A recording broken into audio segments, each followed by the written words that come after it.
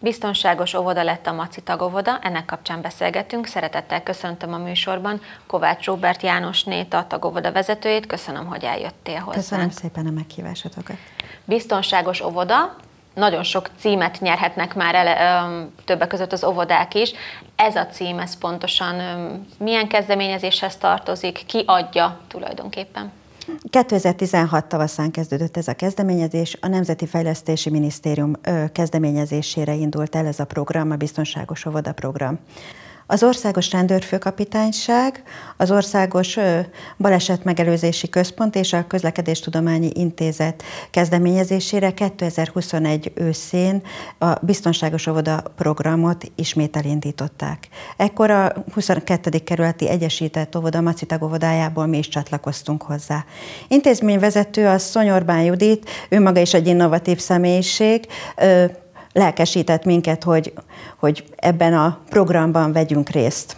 Miért láttátok fontosnak azt, hogy, hogy, hogy ebben részt vegyetek? Tehát mit, mit ad a gyerekeknek ez a program? Azt tapasztaltuk sajnos, hogy a szülők nagyon keveset ö, ö, közlekednek a gyermekekkel. Ö, Mi ennek az oka? Sietnek. Uh-huh. Sietnek, minél hamarabb ott szeretnének lenni a munkahelyen, az óvodában. Ez a rohanó világ sajnos magával hozza ezt. És ezt kívánjátok ezzel a programmal valamilyen módon pótolni?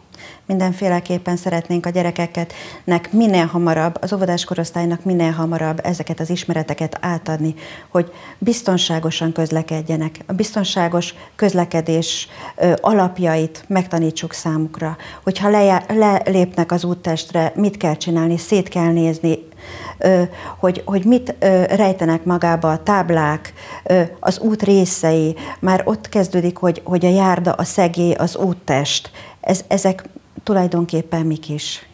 Hogyan néz ki a gyakorlatban ez a program? Tudtok az udvaron belül gyakorolni, vagy ki kell menni terepre? Abban a szerencsés helyzetben vagyunk, hogy nekünk hatalmas udvarunk van, úgyhogy ö, udvaron belül is tudunk gyakorolni természetesen, és kint a, a, az óvodán kívül is séták alkalmával tudjuk ezeket gyakorolni. Alapvetően melyik korosztálynak szól Elsődlegesen ez a program.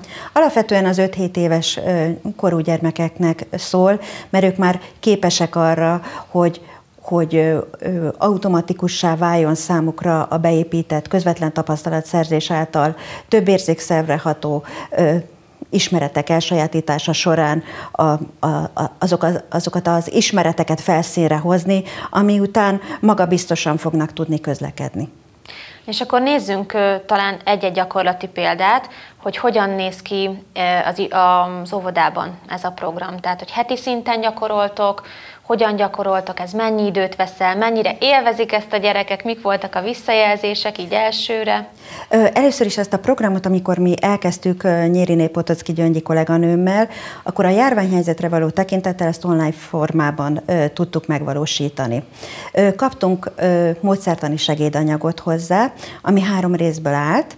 Egyszer csoportos foglalkozások keretén belül is tudjuk a gyerekeknek akár a védőfelszereléseket bemutatni,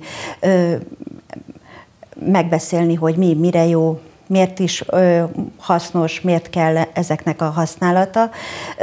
Az egyéni foglalkozások keretén belül van lehetőség arra, hogy akár kártyák segítségével az irányokat, a különböző közlekedési eszközöket még jobban megismerhessék a gyerekek. Ugye mi hol közlekedik, ezt mind még játékos formában nagyon szeretik és el is sajátítják a gyerekek ezeket az ismereteket, és amit nagyon szeretnek, bár azt gondoltuk, hogy ez nem lesz egy kedvelt tevékenység, de például a közlekedési táblákat, azokat nagyon szeretik a gyerekek. És azokat is ugyanilyen kártya formájában tehát tudjuk akkor megismertetni. megtanítjátok tulajdonképpen nekik akár a közlekedési táblákat is. Igen, igen. Fogékonyak? Nagyon.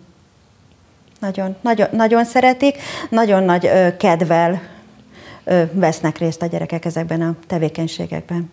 Ez a program most elindult, hogyan lesz, vagy hogyan fog kinézni ennek a folytatása? Tehát, hogy most már felmenő rendszerben minden gyerek elsajátíthatja ez, ezt a tudásanyagot? Pedagógiai programunkban beépítjük, programunkba beépítjük, és az intézményünknek, az óvodánknak az összes dolgozója tudja alkalmazni, de természetesen, mivel csak az 5-7 éves korosztálya fogékony erre, az ő számukra fogjuk színesebbé tenni a mindennapjaikat. Tehát a későbbi években is. Igen, természetesen. Köszönjük szépen! Nagyon szívesen!